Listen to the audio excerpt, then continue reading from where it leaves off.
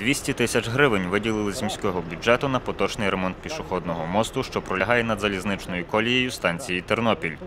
Необхідність у реконструкції переходу була, адже споруда перебувала у аварійному стані. Анонсоване на 5 травня відкриття мосту переноситься через те, що виконавці робіт не встигають завершити ремонтні роботи вчасно. Причина затримки ремонту погодні умови та доставка необхідних елементів конструкцій з інших областей України. По завершенні поточного планують приступити до капітального ремонту мосту. Після е, виконання поточного ремонту е, замовлена е, документація на капітальний ремонт зі сторони вулиці Вояків дивізії Галичини.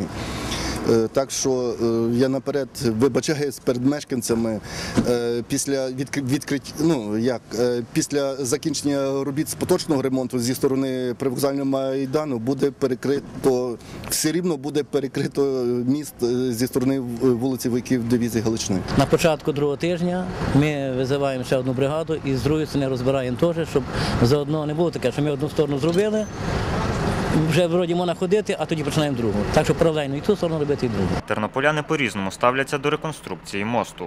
Одні сприймають ситуацію спокійно, інші ж нарікають на затрату часу, дістаючись з центру міста в обхід. Краще, коли цей міст буде справді гарним і відновленим, ніж коли таким, яким він був, з сходами такими, що зимою не можна було пройти. Мені великі труднощі, тому що я живу на вояків дивізії Галичина, і я не можу добрати, мені треба кругом ходити. Я пенсіонер, я не можу так далеко ходити. І Нехорошо так зроблено було. Я не знаю чому.